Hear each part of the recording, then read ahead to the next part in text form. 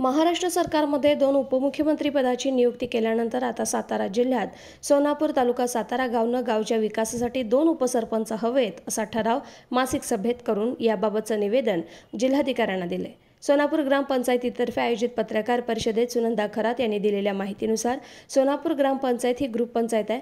गावाच्या अंतर्गत निवडुंगवाडी गाव असून हे गाव सोनापूरपासून तीन किलोमीटर अंतरावर. या ग्रामपंचायतीमध्ये नऊ सदस्य यातील सरपंच पद हे आरक्षित महिला आहे तर उपसरपंच पदही काही महिन्यांपासून रिक्त आहे. या रिक्त झालेल्या उपसरपंच पदावर दोन उपसरपंच पदं निर्माण करावीत असा मासिक सभेचा ठराव करण्यात आला. असा ठराव लिहिण्यास ग्रामसेवकांनी नकार दर्शवला.